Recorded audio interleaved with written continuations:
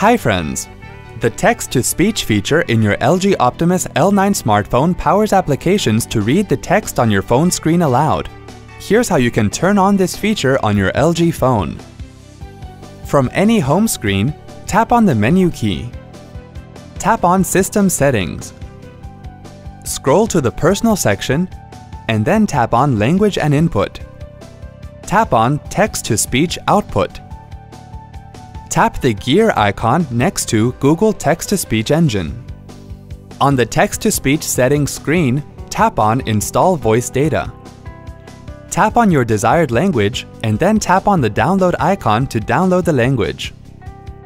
When the language downloads, tap the back key on your phone four times to go back to the settings screen.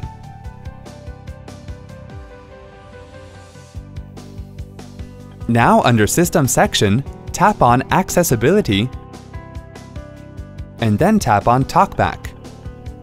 Tap the TalkBack switch on the top right to the on position. Tap on OK twice to enable the text-to-speech feature. That wasn't hard at all. Thanks for watching. To check out more related tech videos, click here. If you have any query or want to share something with us, click here. To get iYogi tech support, dial toll-free numbers. To stay empowered technically, subscribe to our channel.